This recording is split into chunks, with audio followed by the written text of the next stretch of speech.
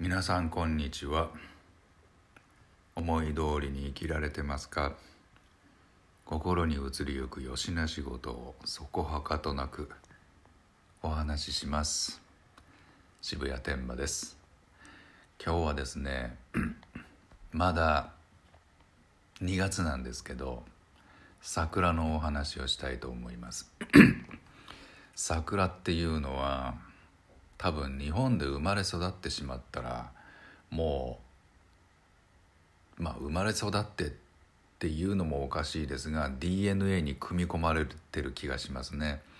この桜の感動というか桜に対する思いみたいなもの。これはえっ、ー、とやっぱりふるさとみたいな郷愁の念に近いものがあってふるさとってただ生まれて育ってるだけじゃないですか。まあそういう言い方も変なんですけど。で多分10年20年ないですよね、うん、20年あったとしてもまあ十何年。記憶があるのは10年ちょっとで。そっからふるさとから離れて まあ20年30年40年経ってもたったやはり子どもの頃の10年15年くらいのことがずっとやはり覚えていて懐かしさがあってなんかあ思い出すと思うんですね。でそういう念に似たものがやはり桜にもある気がしますね。あのずっと日本で育っていれば育って暮らしていれば多分毎年のことですからあ今日の桜またその話題になるのも面白いですね。海外の方とよく話していて思うのは日本というのは季節がものすごくはっきりしててしかも四季折々全て情緒があるんですね。美しいんですね言ってしまえば。本当に美しいんです一つ一つの季節が。もうそれこそ梅雨も含めて、えー、まあ元来伝統的に俳句に読んだりだとか絵にしたためたりだとかまあいろんな表現の仕方をしてきたわけじゃないですか日本人って。そうやって楽しむ、えー、文化もあってところが常夏って常夏でしょ？一年中季節変わらないんですよ言ってしまえば。これ皆さん考えたことありますか？一年中変わらないんです。一年中が一つの季節なんです、まあ、もちろん、まあ、多少雨季があったりとかあ夏になればすごく暑いとかあるかもしれませんけれども基本的に変わらない。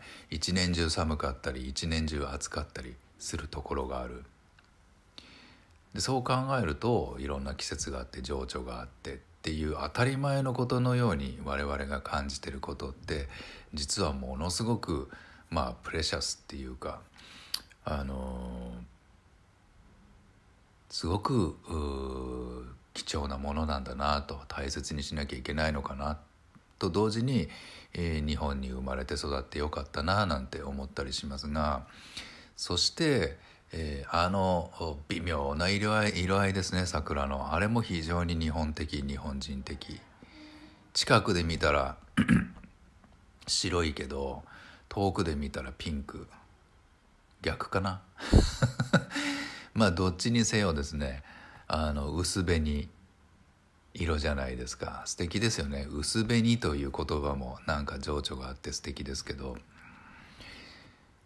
あの匂いとか多分今こうおは僕がお話ししてたら 思い出されて感じてしまうんじゃないかと思うんです。でこれと同じことをですね海外にいて思うんです。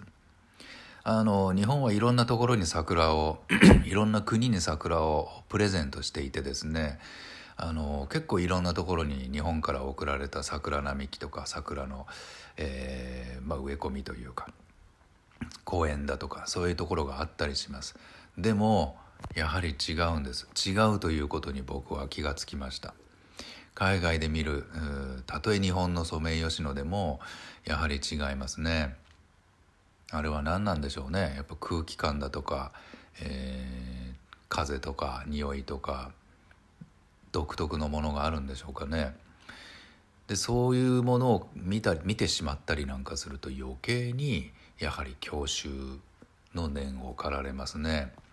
これはだから桜って日本人にとってはものすごくもう DNA に組み込まれてるんじゃないのかなと思ってている次第でございます。ですから、えー、日常的のように日常的に毎年毎年お花は咲きますけれどもただそれってやっぱりすごくありがたいことだなと。